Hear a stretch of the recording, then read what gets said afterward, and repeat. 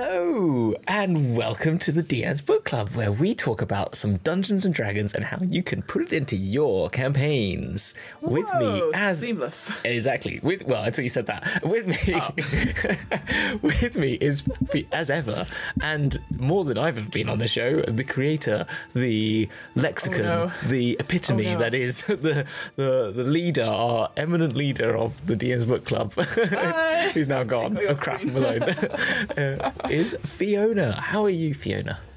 Hello, Hamilton. I'm very well, thank you. Um, Merry Christmas, Happy Merry Holidays. Christmas. Merry Yes. Christmas. Merry Yes. Christmas. Oh, we did. Say, oh, we did say we were going to put Christmas stuff on. Too late now. Um, but I have a. Christmas jumper. Yeah, it's it's fine. This is what. And we're looking around for Christmas stuff. It is officially Christmas. Um, so I didn't prepare. yes. I didn't prepare. I was meant to have a No. Christmas. I don't have a Christmas hat. My my Christmas jumper's all the way up there. I can't bother getting up for it. So No, I have my X Men T-shirt. Does that count? oh, I love. That. Oh, I It's love that. I, I love that. I love the yellow of that. Shall I just? Oh. I'll just wear it like this. It's like that. it's Perfect. Christmas. Perfect. It's Xmas. Xmas. So, That's how it Xmas. works. Yeah, fine. That's it. Uh, Hamilton, do you have any festive traditions or anything like Yes, that? Yes, I you do. I do. I am What do such a classic white male. I watch Die Hard every year. Over 25 white man, I watch Die Hard. I'm not saying that that's only for them. I'm just saying that it seems to be a, a cultural shift for that, that sort of That stereotyping of, of us. Yeah. No, no, I do. I I get the Christmas tree up as early as possible. I always watch AN Die Hard uh, once a year. I watch pretty much all the Harry Potters over Christmas, Aw. and and if I can fit Lord of the Rings in, I'll get Lord of the Rings probably in in the same time. They're my sort of Christmas movies, uh, as well as I and Home Alone. I just like watching movies. Oh, Home Christmas Alone is movies. so good. I love all Christmas movies. So like, yeah. Anything that has any, I, I even I like Love Actually. I've already watched that once. I'll probably watch it Oh, another yes. time. Oh, oh, I love, Um, love. With Love Actually, again, side note, if on the DVD they have Yeah. like the extra scenes, Yeah. and I remember, is it, is it Richard Curtis? He goes, uh, there's a scene at the end in the airport, and he goes, we had to use a stunt actor to do some bits of it as he's running through and he's doing flips and stuff. And you watch it, you're like, it's clearly like a child, a child, and then a man doing Yes. flips, and then a child, and it's just, I obviously we didn't see this on the screen, but I was just like going. This does not. How no one can get away with this. I, I highly recommend watching outtakes and the extra scenes in Love Yeah. Actually because they are fantastic. Oh, okay. I'm gonna have to so watch that. Okay, that's yeah, I'm gonna do that. So much fun. I think I've got. I've got actually. No, I have got it on DVD. Yeah, so I will do that. Yeah, I, I think it's it's law in every British household to have that on DVD. Yeah, yeah, no, it literally. I think I had it twice on DVD when I lived at home. So yeah, it's one of those. It's like the Spice Girls album. Oh yeah, that, I was gonna say that's at home. Everyone has that at their home. Like I got given it that year that Spice Girls came out. I came. I think I got it like three times for Christmas that year. I Really? think. So, yeah, so ridiculous. So I had. right. Well, lots you, of that. you got your you got your life spiced up. Yo, tell me what I want, what I really, really want. So tell me what you want, what you really, really want. I did. I spiced up my life. And then I chucked away one, and then two became what? No, th- no, that, no, Oh, sorry, no, sorry, sorry. Um, anyway, what about you? What are your Christmas traditions? Um, so I'm sure I do have them. It's been, to be fair, it has been a little while since I've had Christmas at home. But Okay. one thing me and my sister did start doing Mm. was that, you know how you know just again through various years and stuff, you always get presents of clothing, right? You'll always get some socks, you'll get Yeah. uh, a jumper, etc. So me and my sister came up with a game whereby when you unwrap a piece of clothing, you put it on instantly over whatever you're wearing, and in the order you get it. So you could unwrap socks uh, and then put them on straight away, uh, slippers and then more socks. Yes. Or you could put like a. Oh, yeah, I love so, this. so you could put like leggings on, but then you might. Uh, like we do in our household, maybe you get pants, put pants on over the leggings, you know, and then at the Superman end, style. Exactly, and then at the end we have uh, we take pictures and it's like who wore it better, and it's our Christmas outfit for. I love it. That is great. Oh, I want to steal So- that idea actually. It's it's great fun, like because obviously you get like stuff like scarves and hats and glasses, you know, uh, all. Yeah. that sort of stuff comes out at Christmas. So I, I just think it's a, a fun little thing. 'cause you're like, oh, quick, put it on, put it on, you know, even, even though the points don't matter or anything like that. But yeah, that's what we came up with, I think, a couple of Christmases ago, and we've we've done it every year since like Oh, on and great. off, depending I on like stuff. it. So that that's always quite fun. The one I Um, used to have with clothing one, and, and I had to grow up, and it really annoyed me. Was that I and I got we used to go stay at a friend's house for Christmas because it was just me and my mum. So for a long time, so our friends we used to go to theirs for Christmas because my, my grandparents uh, passed away when I was quite young. So and I don't have much of an immediate family apart from her. So um, anyway, we used to do that. And but even when I was at these people's houses, I had this rule, and I'd wear and they were clean, so I would wear pajamas all day. Yeah. yeah. So I'd put, I'd Oh. wake up, I'd have a shower, and put on Right. clean pajamas. So I wouldn't Right. be in the pajamas that I went to bed in, but I would put No. them on and have a and a dressing gown, and that would be my. I'd be like, okay, I am not changing all day. No. because that's what I did as a kid, and this is the only way I can feel still feel like a kid on Christmas. So everyone else would like be properly dressed, and I would just be there at the dinner table wearing pajamas until I was probably about twenty l- later than the number that you probably want to believe, where No, I'd literally I- be sitting there with all these adult dish people and I'm still in my pajamas because I'm like, this is my rule, okay? I'm sorry. Who gets properly dressed over Christmas? That feel that feels like Now something's we not do. right. now I, you know, I've taken on. Uh, my partners and stuff like that, and we used to go to when we started having to then go to um, my partner's family. They would everyone would put on like shirts, and everyone would be dressed up smartly for Christmas. So I'd have to put on like a shirt and a Christmas jumper, and would not be in my pajamas all day. So I, my heart breaks a little bit inside, but um, I know I know there is some cultures where on New Year's Eve you do get a new uh, set Yes. of pajamas. Though. Oh. so that that's yeah. Take so like that. you you would get it yeah, because then and you're like you're ready for Christmas because you've got your new Christmas pajama set. You know. Well, winter starts at Christmas, so you need pajamas because it's cold in this country. So you know, and heating's expensive in this country, unlike in America where you get it As- cheap. So as as we found out over, over the last year. Well, Hamilton, enough of our Sorry. and traditions and wearing pajamas over Christmas. What are we talking about today? What is our topic of choice? our topic of choice is really a year in review. We're just going to talk about the things that we've enjoyed and things that we're looking forward to a bit, but more like what we've enjoyed about the year of 2021 in D&D really not there's a lot of stuff that we probably want to forget about 2021 and so let's just look at the fantasy world that is nice and happy and uh, talk about talk about that so yeah Absolutely, yeah. And I think obviously we, we when we say like obviously things about D and D, it doesn't have to be you know just the books that have come out. Obviously, I know Wizards have been like pumping out so Hmm. Yes. many books and so many guides, and obviously at DMs Guild have got all this stuff Yeah. as well. But I, I think definitely for me, when I look back, obviously I made so many happy connections. We met uh, Yes. for the first time. That I know is- it doesn't fit. that doesn't one of the like things on my list you've stolen my list oh no, oh no, oh no. Uh, Yeah. that. Um, you know, we've got. Uh, we've got obviously Dragon's Duel. We've got all this, all this sort of thing. So it actually is one of those things. Where it's like actually, there's so much to look forward to. Yeah. Uh, what look, look back on and going, wow, we've actually we've done it. We've made it. And also we had a good time uh, doing it. So Yeah. yeah, I'm, I'm very excited to talk about this topic. And Well, why don't you start then? Why don't you start I will. with your first on your list of things that you found I fantastic will. about this year? I will. While, whilst you think of a second one. no, I've got more to say about that. So I, that's, that's Fantastic. I've got more cool. To say about. So uh, I did. I did. So I, when I wrote this uh, earlier today, I was like, "Oh, what could it be?" And I will say, because I always, well, I used to say it quite a lot. My favourite book that has come out recently is uh, Van Richten's Guide to Ravenloft. Because I, No crap. I don't. Whoa. what? You've not made that obvious. You know, it's been No. very subtle. Your your love of that that book.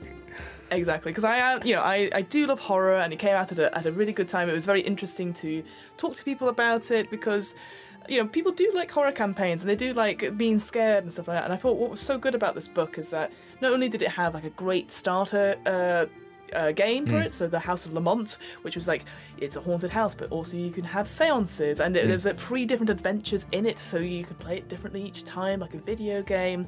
Um, but what I really loved is that if you were like me, like I watch a lot of horror games. Uh, I watch a lot of TV shows and lots of films and play video games or horror, but I'm not very good about what are the tropes of individual things. Like, I'm like, oh, that scares me. Oh, that scares me, etc.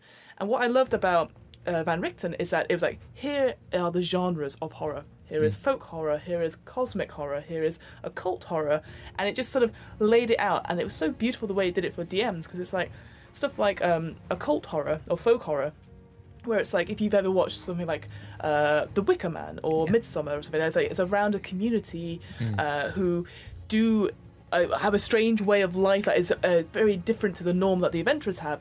But you could play it so that you know the adventurers come in, you know, trample in, and they go, "Oh, this is not right. We'll go kill that, that whatever the being it is that you're worshiping." Then they're like, "No, you idiot! You've angered it. We were been living in fear, and now you've ruined it." Rather than an evil thing around. So there was just all these different ways of coming from it, and I just it was beautifully written, beautifully drawn, and of course with Van Richten as well, it introduced this idea of, uh, even though it was there before, I will say, this domains of dread, and it had loads of different ideas and like all these different things. There's a, a domain where it's just a ghost train.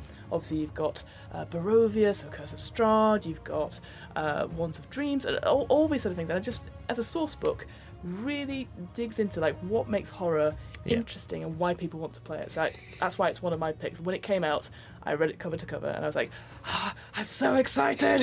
I still haven't brought the courage to read it. Like, it's just not because it's not my kind of thing. But It's not your thing. I, but I really do want to read it. It's just like I just need to be. I just need to do it probably in the summertime. Yeah, it is definitely one of those things where I think you need to be in the right mood for it, like Yeah, with any exactly. Mm. sort of genres and stuff. And for me, I it's one of those things because it was a spooky season. It is 365 days for me uh, all year round, so I'm I'm always happy for that. But I, it has so many good ideas and ways to uh, talk about horror. Like here are some ghostly settings. Here are some ways to do it. And it just, again, a bit like Saltmarsh in a way, where the Ghost of Sh- Saltmarsh was all about seafaring and how to make villages and coastal adventures and stuff like that a little bit more flavoursome and had this environment stuff. That's what uh, Van Richten's Guide to Ravenloft uh, did as well. And I just, Yeah.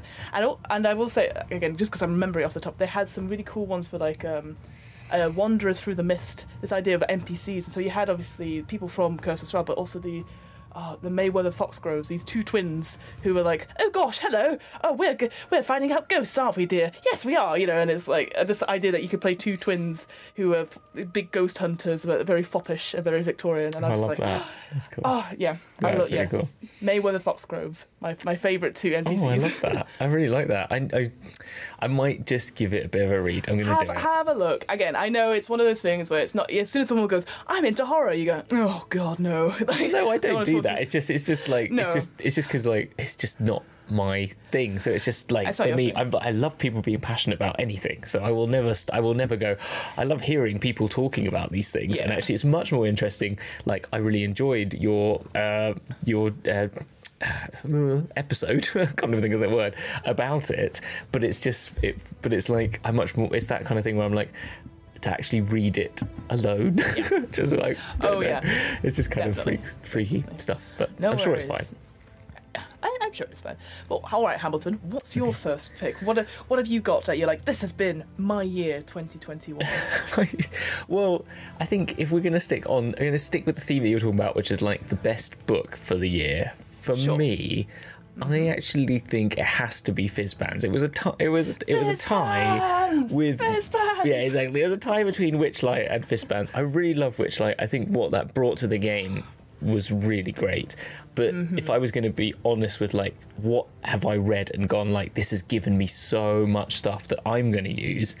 As a Yes. person who runs a show called Dragon's Duel, it's obviously going to be Fizban's. It's like, duh. And I was like, I said, you know, it's one of those things where you're like, oh, I should be different. I should try and think around it. And really, I loved the the Babylon Witch, like, but the one that I wanted that I read and was just like, okay, that's going in, that's going in, that's going in, that's going in. Yeah, yeah, yeah, yeah, yeah. More of that, please. And you know, I was just making notes consistently.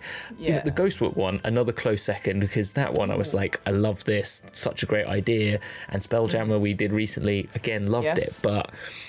Fizban's just was just flying off the page. Great sort of lore in ideas. Just Yes. I've written two seasons for Dragon's Duel based off. Fifty percent of the Dragon's Duel things have just come from this, the like backstory stuff that I've loved. So Mm-hmm. it's and and it was it was a really interesting take on doing a source book. I think Mm. Yes. you know take uh, taking the the grandest character monster that is. We've talked about this when we're doing it that's in d&d is the one of the names in there but Yeah. they they did it real justice and gave us um gave us everything basically. Lore stats um items feats things everything. It was a proper old-fashioned not i don't mean like old-fashioned d&d but just like a proper epitome of source book here is Yes. stuff. Like you were talking about with your Van Richtens, I guess. Like there was a theme of horror, and we're going to talk all about horror and give you a whole encompassing. It's not just Absolutely. a few adventures. And the same with um, the drag, the the, the Fizban's book. So yeah, Yeah. for me personally, great one. I, I absolutely agree. I think we may be seeing more of a trend towards themed source books that aren't necessarily like um, uh, Xanathar's Guide to Everything or Tasha's Yes. Guide to Everything. Uh, like I know we're going to have uh, the updated sort of Volo's Guide to Monsters as Mordenkainen presents, and we've also got Mordenkainen's Tome of Foes and stuff like that. I think this was just interesting because those were obviously like here is a voice, it is a character. Yeah. Per se, uh, and then this is like, like you said, uh, Van Richten's Guide to Ravenloft. Van Richten's not really writing it per se. Like he's Yeah. he's in it, but it is like here are all the horror stuff that you need to know. Mm. And then, like you said, like Fizban is in it, but it's also it's all about dragons because you know it, it is all sort of more uh, shaped or uh, there's a, Yeah. definitely like this. You know, I I can definitely see like yes, whilst Van Richten is for me, Fizban's is for you. You know, like Yes, and I well, it's definitely it. like. Whereas I can imagine like stuff like Xanathars and Tash and stuff like it's like oh Well, I remember I bought interesting bought Xanathar's as one of the first books outside of the main three that I bought Mm-hmm. because I wanted the additional um, I wanted the additional subclasses and I wanted to get the uh, the stuff on like downtime. But when you read it, it's just like an amalgamation of just what? Like, why is that next to that? That doesn't. This is just so I can get. This was literally a book like this needs to get out here. Let's shove this all together. It didn't really make cohesive sense. yeah The other thing that you picked up on though was like Van Richten's like gave you this overview, gave you the all these books they've done this year, and something that I think we want to talk about more later was there's just so much more about role playing. You know, they're bringing in how you play the game. I, we talked about this on the on a few of the shows that actual plays are becoming much more uh, actor heavy and sort of uh, role play heavy, and therefore they are just giving us ways to become better DMs in the sort of more like how to create theatre, how you know, giving us like Yes. Tropes. This is here are the tropes of how you make a, uh horror A thing. story. Or, exactly, and this is how you can play dragons in multiple ways. Not being tropish in the sense of like here's a stereotype. They just give you. Just give you archetypes uh, of things Mm. that you can work from. That then, but being very open, like in the sense that, like you know, Yes. when they talked about the dragons, they said you know a red dragon might, you know, one red dragon might be huge, hulking, bestial sort of creature when Yeah. when another red dragon could still be ancient but like a very lithe fluid serpentine creature and how that might and one could be very primal and one could be very you know well informed and and this, Yeah. sort of like I don't know it's very much opening us opening up the the game to to to more creativity and giving you more of that sort of uh, creative um, background or something yeah. No, I, I completely agree actually because there's always that thing where it's like we want you to write. It's, it's, as a, as a DM, sometimes I really struggle for like inspiration and stuff, and it can literally be a, a sentence or a, or a section, and I just go, oh, perfect, I've got it. But it's that sort of thing where you don't want to be like write loads of stuff for people just to be like take and go because that's not the way people learn. That's not the way people create stories. It's giving them the starting point to be like, here's some ideas. And I, I do think I know we always talk about like wizards love their tables. They do, but they give you enough options to be like, here's I don't know a D8's worth of options or a D12s, etc. But actually. Um, you could just be like, you could roll it, you could take it, or you'd be like, oh, I like that idea, but change something else. And I think they always say that. It's like, here is some things that we say. And I think mm-hmm. that's the thing, we, they are making it clearer. They are sort of putting out this stuff, this content, and a lot of content, very good, very well written content. But it does feel like, compared to other places, so like we've mm-hmm. looked at, they said Ghost Walk and Spelljammer, those feel very much like, here is the setting. Um, mm-hmm. and here are the rules for that setting, Yeah. and you can you can tweak them a little bit, but it, they're, they're sort of rigid Yeah. or they're sort of like they're sort of like this. Whereas, And yeah, I think the- that the- sort of sorry. describes the difference in in like we come to those now and go like, well, we can change the rules of these things. Like literally, we were doing the spell check. We're like, well, we can just change how air works, and we've Yeah. got that because, and know, that's also just s- cultural and social. I don't think, Yeah. um, uh, age, you know, like growing up, I guess, for want of a better term, but also Mm-hmm. just like the dogma of of D and D is so much more open and and sort of uh, uh, Yeah. fluid in the in your interpretation of the rules. They're very much clear that Yeah. you they're not like old school Games Workshop and old school TSR where it's like these are the rules and you play it, and you can see that in it's, and, you know unfortunately you see that in some people on the internet. You can find the people that are dogmatic and and you know if it works, you know there are rules there for a reason. They make a game work sometimes, but. you know, it's uh, there's definitely yeah, I love that move just to being just like can do what you want because it's Yeah. not real. It, it also it also feels like with that, just jumping off that, it becomes less like a board game where the Yes. Mm. rules are kind of set to uh, let's do a collaborative game where the players can go. I want to use a spell like this, and your your DM can can have the, the the freedom to go. Yeah. Cool, let's try it. Rather than going, oh, I think you'll find in the book it says Yeah. this. Like you know, you you the DM has the permission to be like yes and or Yeah. no but or you know that sort of thing. And I think that's so important for like you said, the streaming and creating stories which are not just one sided. But also just having fun at home as well. Oh, absolutely. And it's Yeah. not, like I said, it's not just the DM story. And that's, Mm. I think that's the key thing here. That's the reason, one of the reasons I started the book club is that here's a lot of lore here. But if you just create a world where it's just you in it, it's a bit boring. but you've got to be able to have players that come in and then let them choose what they want and, and change the world. Because that's what makes the really engaging little Yeah. bits of story and stuff. So yeah. Oh, good choice, Hamilton. I completely agree. There's bands. Fizz ban, fizz bands. so good. Uh, So, what's your second choice then? My second one, if I look it up. Oh yes. Well, actually, it's very similar to one you just you sort of mentioned, Wild Beyond the Witchlight. I actually went for the Domains of Delight supplement, Mm. the 5e that came out a little bit after Wild Beyond the Witchlight. So again, I know we've said this several times, but Wild Beyond the Witchlight introduces this idea of domains of delight hmm. and it introduces this domain of Prismeer. And this I, again it's almost like a the sort of the flip side of a domain of dread and that hmm. idea because there's so many domains of dread because everyone's like oh it's going to be horrible and, hor- and scary here. And there hadn't been much on the Feywild per se hmm. until this point. And now they're like we can go and create our own domains. And so Yeah. when we created it ourselves like we're like again very straightforward very interesting. And how we came up with, with, with what we created it was actually just like actually that sounds like a really fun place to be and it was just you know over over an hour just us working things out coming up with the archfey that rules Mm. over this domain and stuff and I, I do predict well I hope in a way that there'll be a similar source book in maybe a couple of years time where it's more Feywild Yeah. uh, domains of delight that comes out because obviously Van Richten's done so well and I do think the the Wild Beyond the Witchlight has done very well as a Yeah.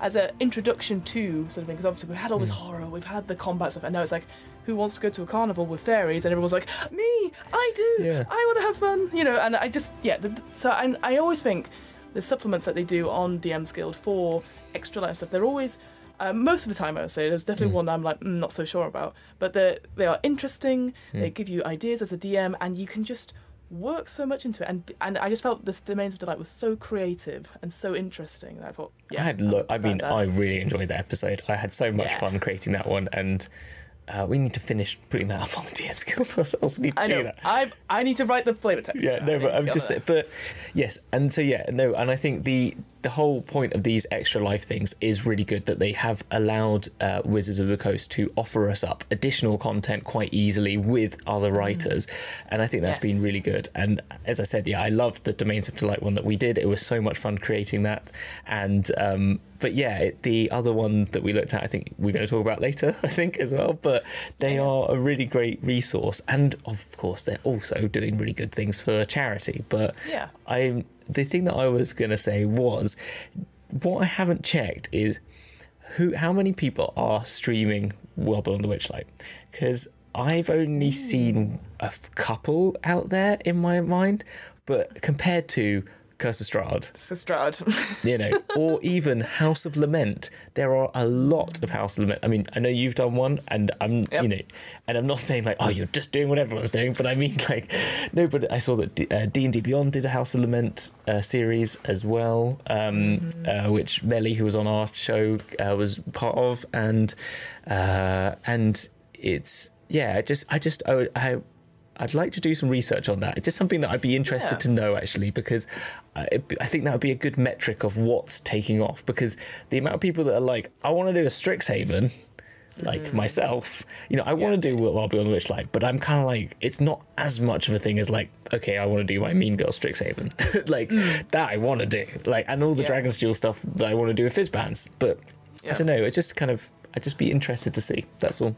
I don't You know, have I an think- opinion anyway. But. I, I think that's a very good point because I know when I was reading about the uh, Hmm. Wild Beyond the Witchlight and stuff like that, I was like, oh, I'm very excited by it and stuff like Hmm. that. And you're right. I I will say this, you know, Touchwood, I've not seen any things about like we're going to do a Fae inspired thing. Yeah. And I wonder if that's because maybe there is a, a view saying like, well, Dungeons and Dragons should be fighty fighty.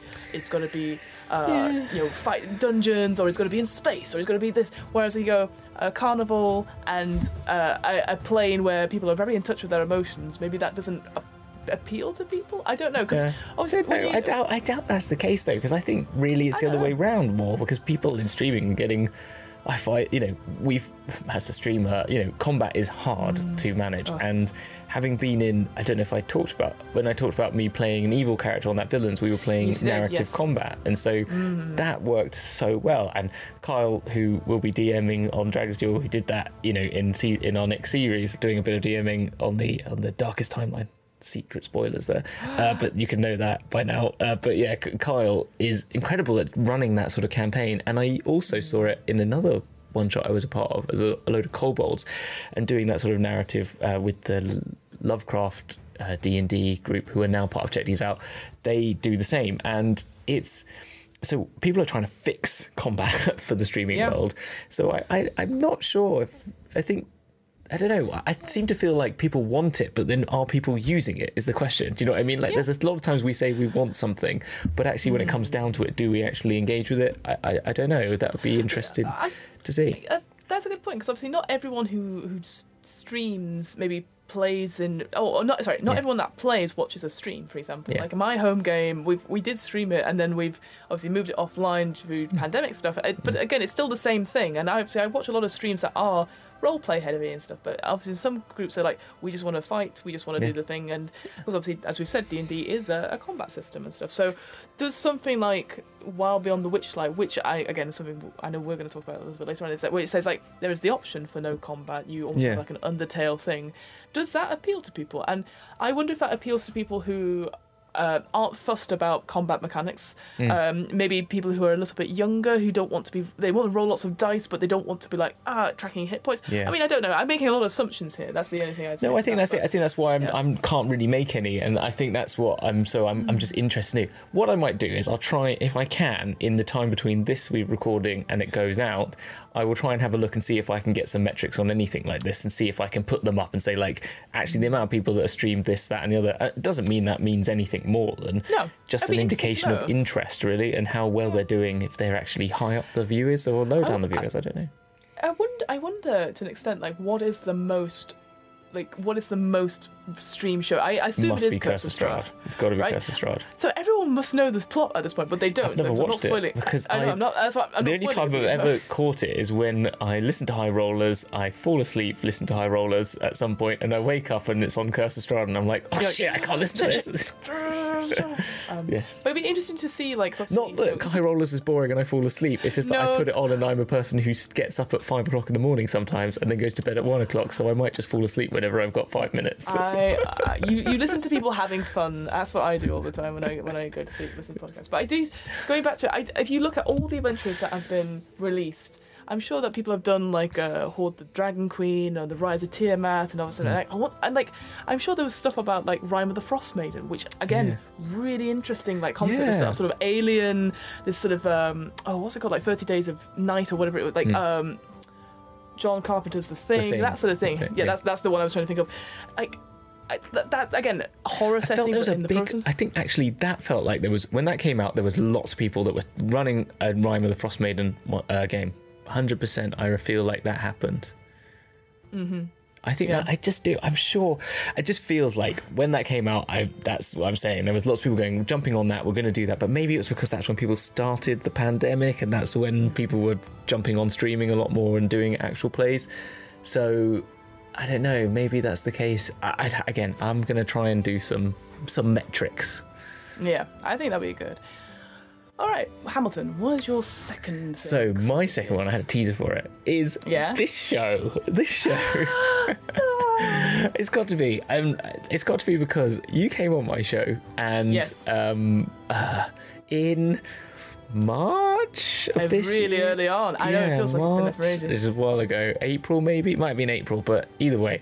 And then and then I yeah, I'd only you just called back to me like looking for people to guest on the show. And I, I don't think I might have I definitely had you in my subscribe list because I looked once for a DM's book club, like a book show. Ah, but I did it because I was looking for people talking about Forgotten Realms books, not about like you know, as in like the novels. Whoopsie. You know, that's why I kind of. But then I had it there, and I kind of listened to one, and I did enjoy it. And then you came on the show, and then um, literally after you came on the show, I was like, okay, I'm, I be- better listen to this properly. And then I basically listened to all of them in about the space of.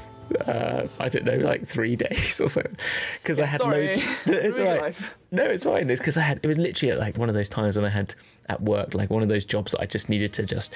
I was doing just really quite technical detail. I could just be getting on with. I just knew what I was doing. I was just copying and pasting pretty much, but not a bit more complicated than that, let's say.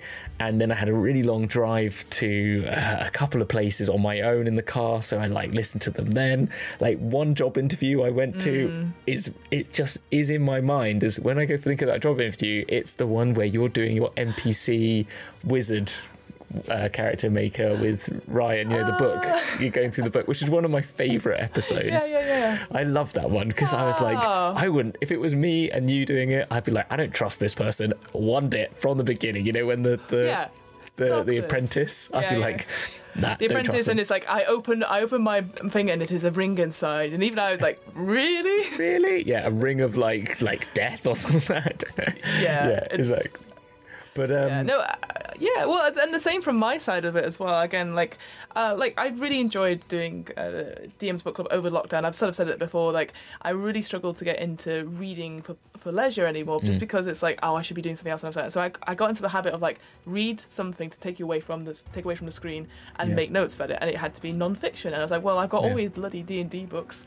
Uh, I need to to do something. Yeah. And so yeah, starting it up, and then as you said, like coming on to Dragon's and having such so much fun, and then I was like, oh, you know your you know your D and D stuff, you'll be a great like, you know, and then yeah, and then there's just sort of born out of just being great creative stuff, and I, I and I've talked to other people about this as well. This idea that we're all in the same space, and mm-hmm. you know when it's like, oh, should I start another actual play podcast and all that sort of thing? I think the answer is do it, and then join a Discord or join a, a forum or something like that, and talk to the other creators because yeah, hundred percent. Everyone's in the same boat. Everyone is going to go, oh, the edit this week was really hard, or Yeah. I lost half the things, and, and just having someone to be like, I've got an idea, can I bounce it around? Like I've uh, really enjoyed our chats, like lunchtime chats where we've just gone, here's all the stuff. What do you think? And I'm like, it's great. What do you think of this? And you're like, it's great. It's just nice to have someone who's excited about it. We've had it for as well when when you're, I'm about to run this campaign, I'm going to do this to them, and you, all you need is that person to go, ooh, and you're like, yes, yeah, I've told exactly. somebody. Yeah, that's it. Yeah, no, it is so good, and uh, that's the thing. And like, if you want a Discord to join, join our Discord, and we're happy to Yeah. talk to you about all these fun things because Oh, that's what we want to talk about. Um, but yeah, and, and and you picked up on the other thing that I put down as my like two A's and two B's, which is like. I put creating the domain of a delight and all the creation episodes, so I, you already covered that. But the other one was like the historic D and D settings and op- you know, like forcing me to because I've wanted to read Spelljammer Same. for years, and we and like because of this, I've done it. I've read it, and I'm like, I love it. Great. And I think, and, and that's, that's the other thing as well, because I, I obviously when when I initially wanted to do this, I was like, I've got all these fifth edition books, and I, I've never thought to myself, oh, this this should limit me to the source book. So when I've had guests on saying, oh, well, I've got an idea, but it's not in an official book, it's a DM's guild or it's it's another RPG game. Yeah. I've gone brilliant. I Yeah. want to talk about it because I.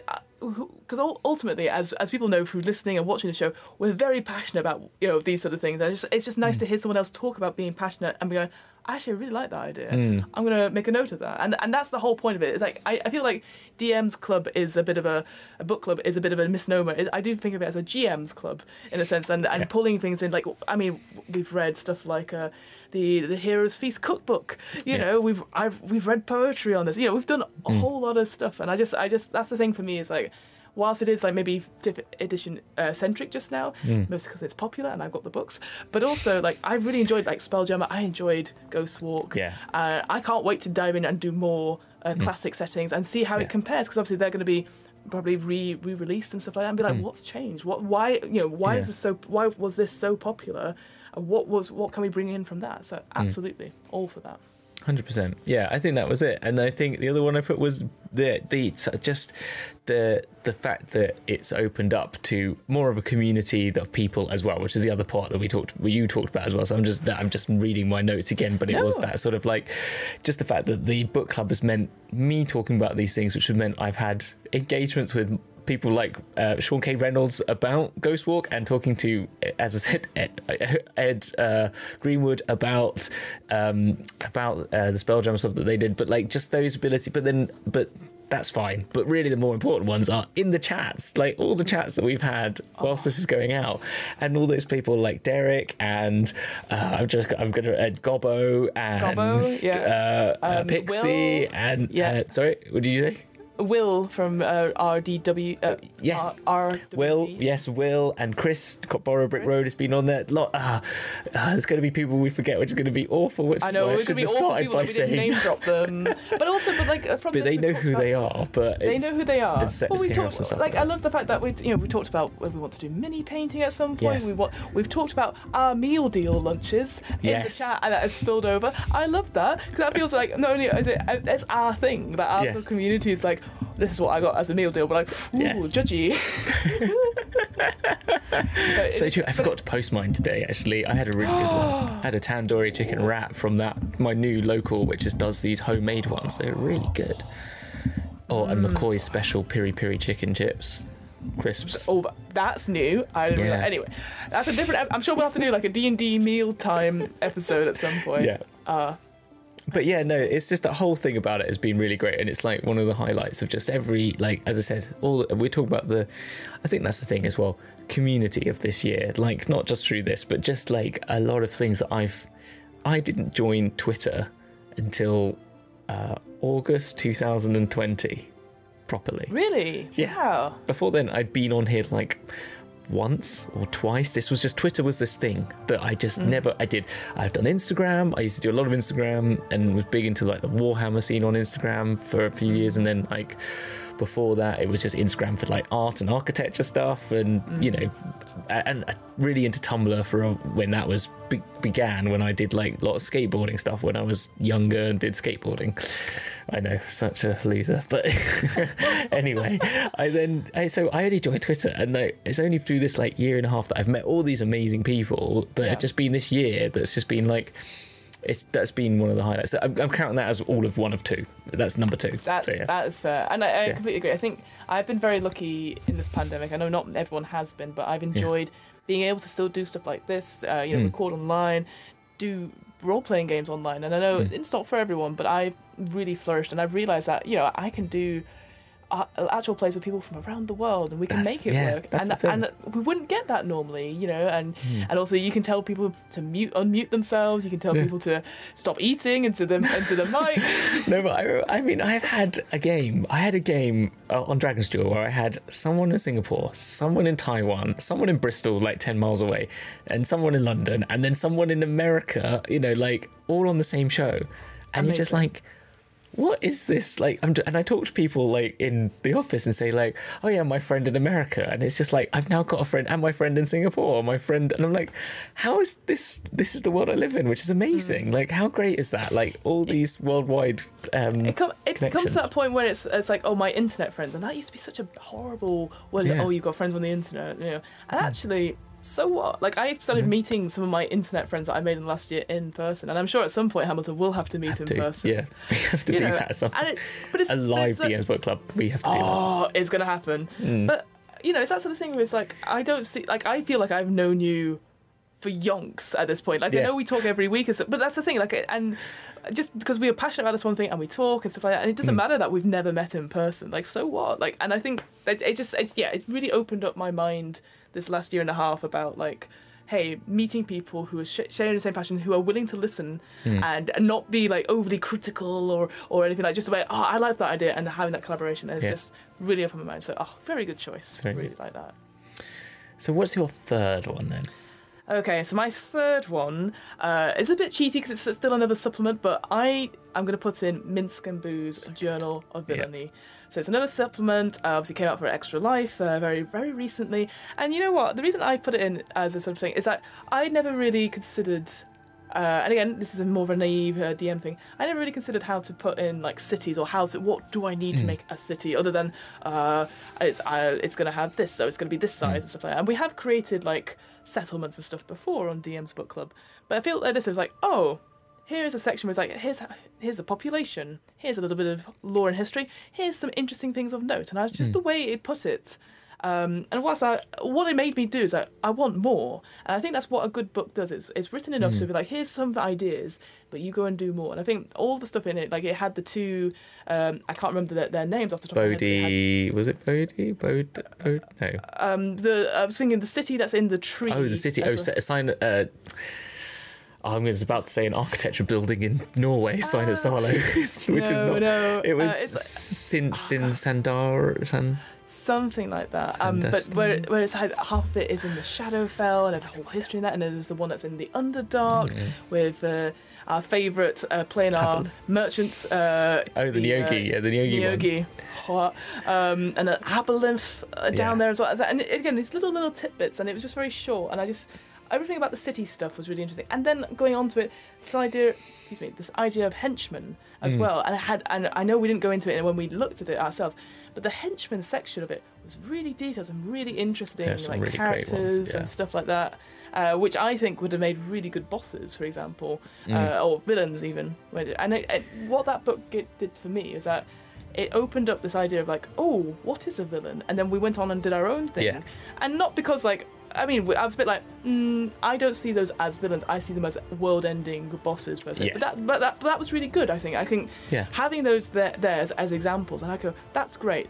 I want to do something different, and that's what a good supplemental source book should be. Is it's a jumping off point. It's not lore and anything like that. But I just thought, yeah, the henchman section of it was just really interesting and again, amazing imagery and and all that sort of thing, and the cities and It just- was incredible. yeah, all, all about it. I just thought, again, and I, I, just- I also quite liked how it just got released and then unreleased and then released again because Yeah. it's like, I, and I guess that's Yes. not necessarily like it's a faux pas for sure, but I just thought, oh, I'm now intrigued. What's going on here? So It's yeah. worth noting as well that they've made an adventure using a lot of the people in it uh, that's also on DM's Guild. So if you are interested in, if you find it good, it, you know, if you're looking for an adventure that uses some of those people, there's uh, there is that as well. Now they've made it, which I think was worth noting to Yeah. promote them. but yeah. Um, yeah, no, I really love that. Minsc and Boo was one of my favourites uh, as well. I, I, I, well, as I said, I as I first one like adventure that I DM and I talk about a lot is Dragon Heist. I talk about it loads, and it was and it's obviously Waterdeep. And I used a lot of DM supplements when I was making that to find DM's Guild supplements. That is to find ways to like build up those adventures. And I came up with a, a few myself that came off that. But it was a really I found I really enjoyed an urban adventure. I found it really fun, and I think they are great places to be in because a lot of a lot of people live in them, and we have a lot of experience our own selves of being in them. But they, mm. I felt it was like GTA meets D and D. That's what Dragon Heist is, and I made it as such. I had the map, and I did like I made a Photoshop file that had little stars of wherever they'd been and where there were jobs to do. I made them exactly like it was D and It was GTA D and D. So when I opened up every game that was like we we're not like in in media res, if you know what I mean, in the middle of something, I'd be like, Yeah. okay, here's the map. So you've got to go and see Renaer Neverember here, which was like an NV, and you've got like which is at the the his like club, and then you've got like you've also got the Bregan D'aerthe quest to do. You've also got your um, uh, Zhentarim quest to do. You've also got these, and you know had all the, and there's your tavern up here that you own. You know, and it was all little things like that, and it was That's just so like cool. it was so much fun and I, I think city encounter city urban adventures are good fun and I think more ability to have more different urban settings rather than the classics that we all know is great you know like could- the yeah. Athkatla and stuff like that That's, that's such a good point. Again, I, have not really read much into Dragon Heist because I do have a friend who's promising me at some point to run it for us. But again, I it, it was. But we were talking about it before about popular things. Dragon Heist was really big on the streams. Like people mm-hmm. were playing it left, right, and centre. So and stuff good. because it was so different. And yeah, and, mm. and I absolutely adore the fact it's GTA themed. The map. I just. Of course, of course, that makes sense. So, Yes. oh, I love that. That's, that's I mean and you can play it four different ways there are four different baddies so you can you could watch one and and I recommend the high rollers one because they've if you want to watch it and you don't want to be too spoiled is that it, uh, Mark Sherlock Holmes changes it enough Yes. that it isn't exactly and and when I ran it I made it sigil the dragon the, the dragon heist in the end anyway so like anyone can make it their own way so I think if you if you're interested to watch listen to listen to watch one that's one to watch if you don't want to be overly spoiled by it what happens. Absolutely. Absolutely. No, completely agree. All right, Hamilton, what's your final, final like? Yes, this has been 2021. This has been D and D in a nutshell. I guess. D and D in oh in a nutshell. Oh jeez, that's not what I. I mean, that's that's really putting the pressure on. I think what I said in the last one was D and D in a nutshell, which was the the, col- the collaborative one. I'd say just my um my third one was going to be just the, the promise of of more coming. And actually which is i know it's not the year in review but i think it's been what it's a bit of a combination of actually a lot of things we've already said. So that's why it's a bit of uh, we've sort of over, said it already which was the the non-combat the role-playing heavy focus and this sort of move of d&d into something different. So that is was my third one. So i feel like i need a new one. I because think that's fair. But that was kind of like the the biggest the, the biggest thing i think um i think the creations that we've done has been fun and being open to that uh creating more elements and being like i think having um i think something that is that uh the D&D books have done and with, we've talked about the rolling tables. Oh no, we've already sort of talked about this again. It's that sort of um I think even just having it as like an exercise that a DM does every once in a while that's just not related to your game is something that I've really enjoyed uh, from this show. Is just like making something because I might use it, I might not use it, but just being creative for Yes. an hour and a half has just been um, a lot of fun, and I think something that Yeah. I'm going to try and bring into my sort of like like structure, I guess, of like let's just come up with something uh, if I've got when I have free time uh, to, to to to just like just think. Uh, just it's made me start thinking about like oh how would I make that more uh, a little Yeah. bit more, which has been quite quite an, an enjoyable experience. But yeah, really, we did cover my third one, my proper third one over all of them. So that No, but I, I think I do I do see that. I think what I get with um with uh I, I did a book ages ago which is like um oh it's called The Artist's Way, which is, I will say at the top it's a very airy fairy sort of like how to unblock your creative pause, you know that sort of thing. But what it did give me advice was that every week you spend you should put your take yourself on an artist date. And what that means is that um, you block out a little bit of time, a minimum of two hours, and you go do something for yourself. Now, whether that is going to an art museum, going for a walk, uh, painting, or anything like that, you always have it at the same time every week and you don't cancel it for anything. And what I started doing in that is uh, I started doing that for the 12 weeks and I would play solo RPGs. And actually doing that, and to be fair, it was content creation as well. Hashtag anything is content for what am I rolling. But I realized that allowing myself to be like, okay, this is uninterrupted creation time. And I think that's the thing. Sometimes I do, we do get the thing going, oh, you don't need to prep anything. Don't be, you know, just improvise. There's truth in that, but also there is a little bit of joy where it's sitting down and just trying something. 'Cause There's mm. always that thing when you're about to start and you go, oh, I don't know where to start. Like we've done this when writing assignments and stuff. You're like, oh, oh, I hate it. I can't write stuff like the minute you get a- going.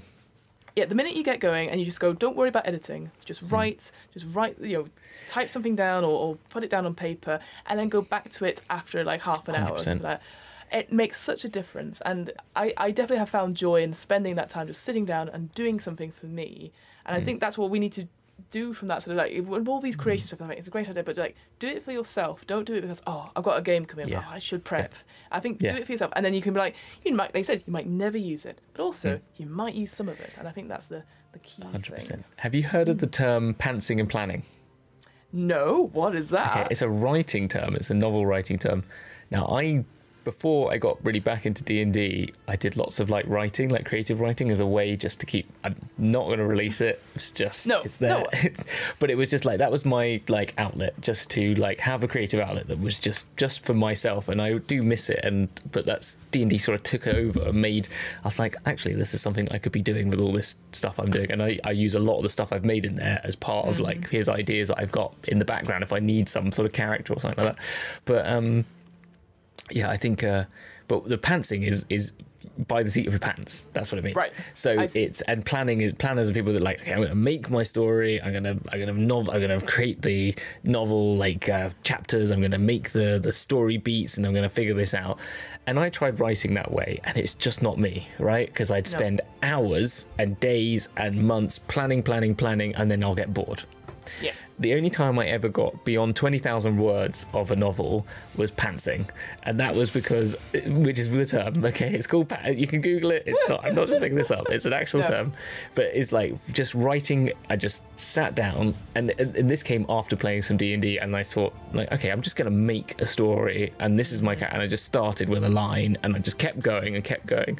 And then I built this thing and then, and then I kept moving, like one chapter I wrote just moved over here and then that chapter moved to there and it was like, and it just became a bit of a jumble, but it needed editing afterwards. But the flow and the way that I could get hmm. things out of like writing was so much better. So I think this is what I was talking about. That's what I was getting at. Just go out there and just start something, as you're saying as well. Is like a really good.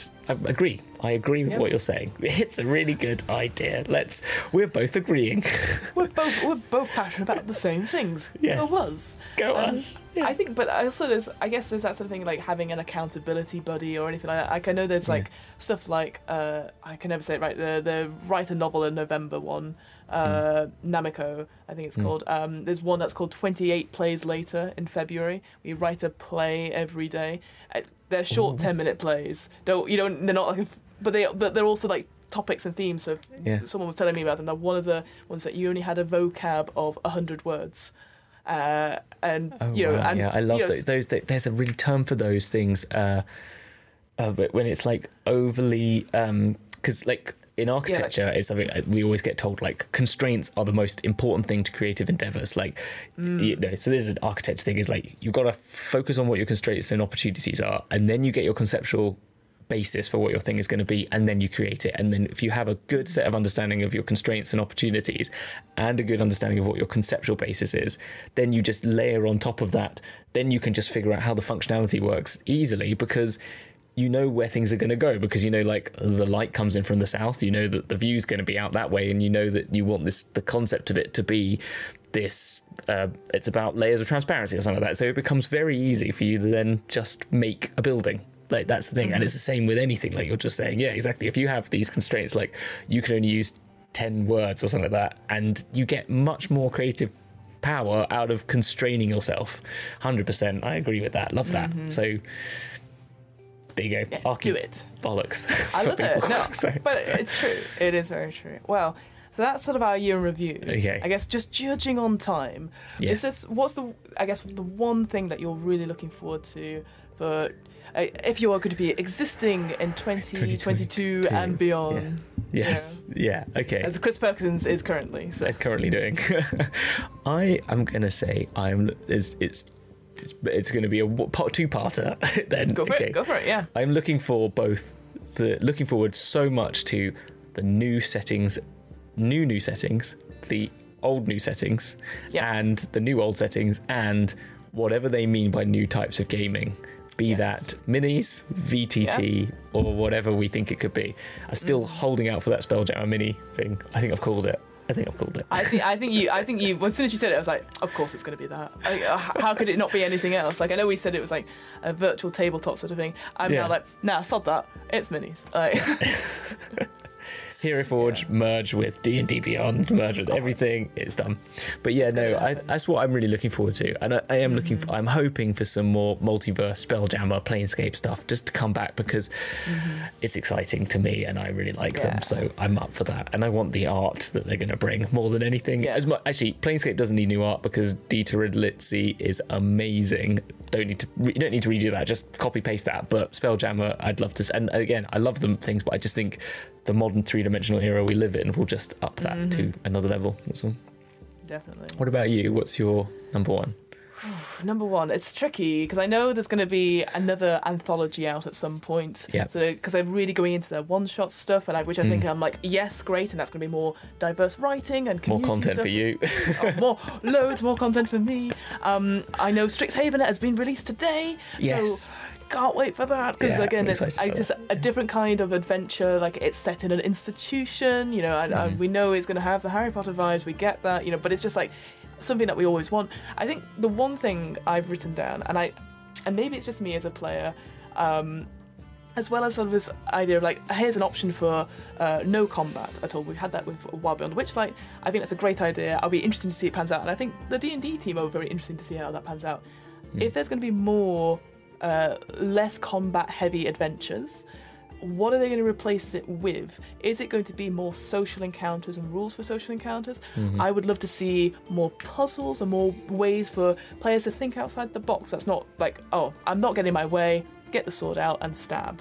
Like Tasha's came up with like at least 10 puzzles um, for you to try, which I have tried and they are really good, but uh, they are very similar in a sense. It's like, oh, we count into the word for a couple of them. So I'd love to see more examples of riddles and stuff like that. And I say this, I know how hard it is to come up with a riddle. I know how hard it is to come up with a puzzle, but I would love to see more ways if we're not doing combat, which is the main D&D thing, let's face it, you know, it, you have you to hit and damage and all that sort of thing. What else are we, we replacing it with? They've already talked Yeah. about like I think you mentioned it before the the the spell casting they're simplifying that so it's like for for DMs which I think is fantastic like we saw that recently with Yeah. uh, Fizban's as well they showed it in there what what other environmental or other ways Yeah, to I know what you mean. Like, how the are they going to to? No, yeah, I agree. It's like, how are you going to build a system that deals with not combat, or are we just going to accept that there is no longer a system and that D and D is not? it- There is a system for combat, and then there is the fact that this is really just. It, it, it- the question becomes like, is it D and D anymore if there's no system? But I think the point is mm-hmm. that it's a campaign setting so actually really that's what they are creating they're more creating mm-hmm. like here are worlds for you to in- invest time in there is so Yes. much lore like there is Yes. a wealth of lore that we've we can, we've seen in this year of of reviewing Absolutely. things that Yeah. maybe that's just what they will accept and maybe maybe they'll add more they will give us ways to play like here's mm-hmm. ship combat here's maybe they'll give us I mean, maybe they'll even give us a way to deal with narrative combat. Like I, I, I could imagine, yeah. you know, that would be a really interesting thing. I think it'd be very interesting to do that because there's some great RPGs out there. Like you said, you talked about the Wheel of Time one. Um, Mm. I can think of several ones which are just like token based. We got I'm going to take this move and give a token and all that sort of thing. Mm. City and of Mist, we we looked into a lot. City of a Miss, of yeah. course, yeah. Yeah. And I think, um, very narrative combat style of play. You know, it's just yeah, and you think about all the things that get like you like um I don't actually I don't know if it was shared in our in our Discord, but the, it was like recently it was like here are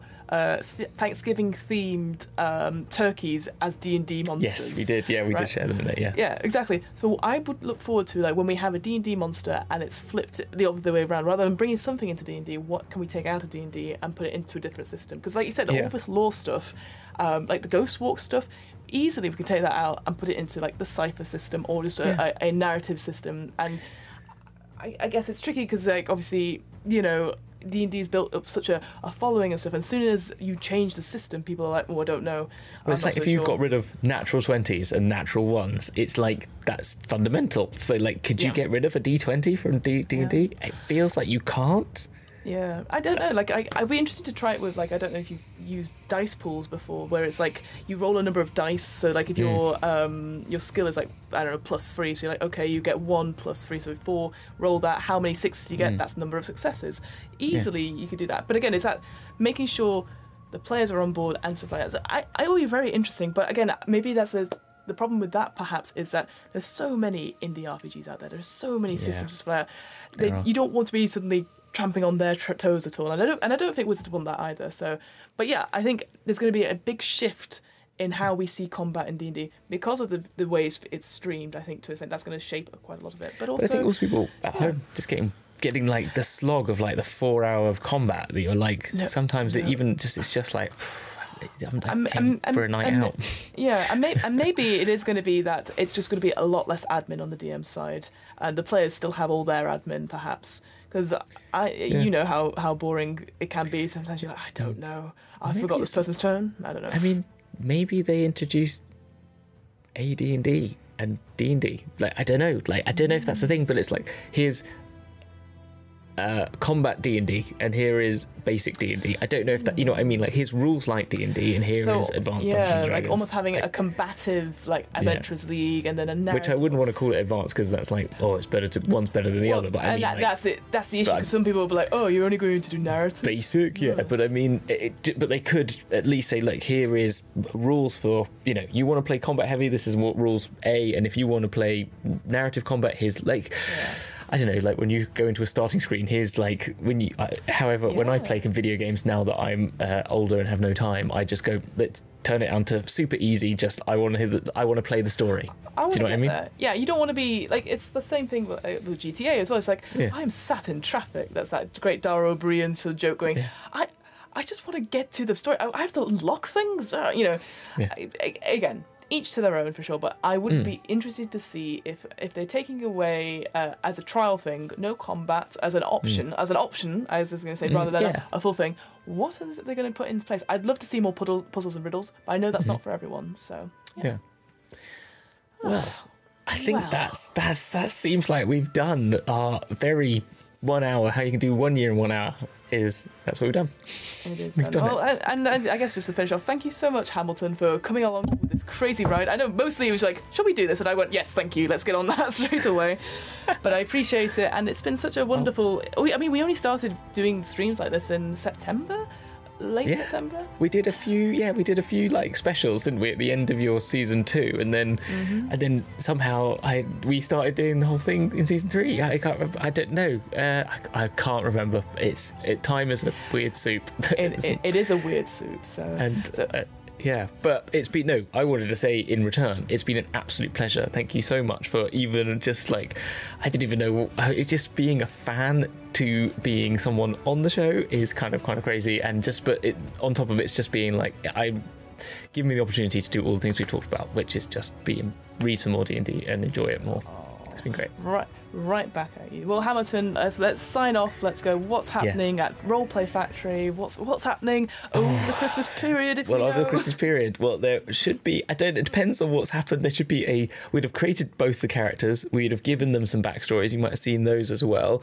And mm. then there. It's weird. This is quite in advance for recording this. I don't know Yes. exactly, but in January, I can be very clear in saying that there will be two actual plays, two actual plays that will run alongside the campaign, uh, the game show. So what we're going to do is every Saturday at 9 p.m. UK time, 4 p.m. American time, there will be the Shattered Realm actual play, uh, which will be my DM'd campaign, which will Yeah. be taking one half of the characters' personas with the sort of this is our European based players because of time zones.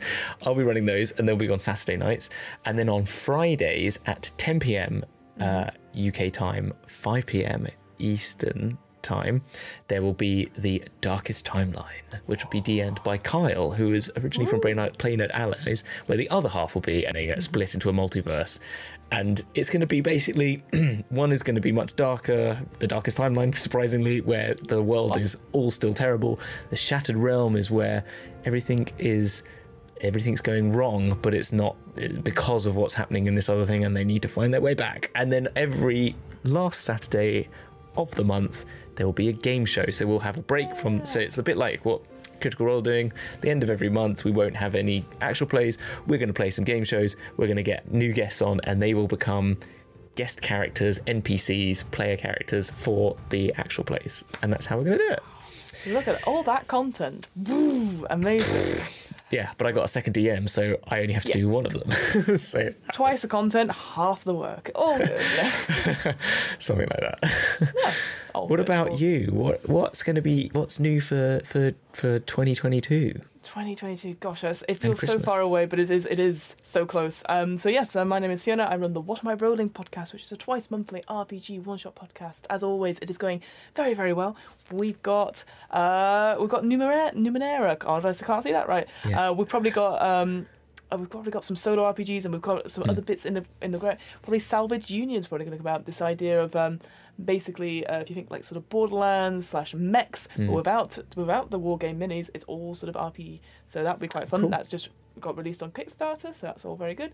And yeah, apart from that, um, I'll be doing some sort of improv sci-fi show called Galactic Oh, yes. Implosions. Yeah, um, in in the in in the person in January, hopefully in person, um, which is going to be an in-person show, but it's also going to be streamed and put in VR as well for those people who like Galaxy Quest, Red Dwarf, similar sort of vibe. Uh, yeah, gonna get get your get your headsets on for that because that's gonna be really good. And yeah, I'm sure I'll be posting all about that closer to the time, but that'll be in January with the states.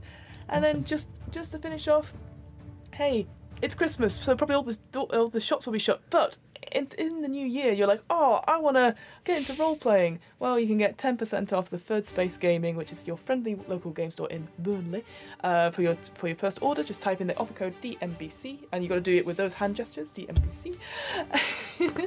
uh, and then you can buy it on anything you want. Um, hey, maybe if you want to wait, and then the Mordenkainen presents uh, Monsters of the Multiverse, that hopefully should be out at the end of January, but who knows? Uh, maybe. Uh, there'll be alt covers, there'll be the gift set alternate Which is the covers most that'll be beautiful alt cover ever made, by the way, so far. It's so pretty. Um, It's the ones you're going to leave on your coffee table, and people are going to go, What's that? And you go, It's my obsession. Um, My life. my life. Uh, minis, uh, water, terrain. You can get it all there. So that's DMBC into uh, checkout. It's 10% off your Cool. first thing at Third Space Gaming. And that's it, I think. I think that's everything. That is So- everything. Oh. So I think with that, we should probably just say not only See you on the flip See side. On the flip side of the year. Love you. Bye. Love you. Bye.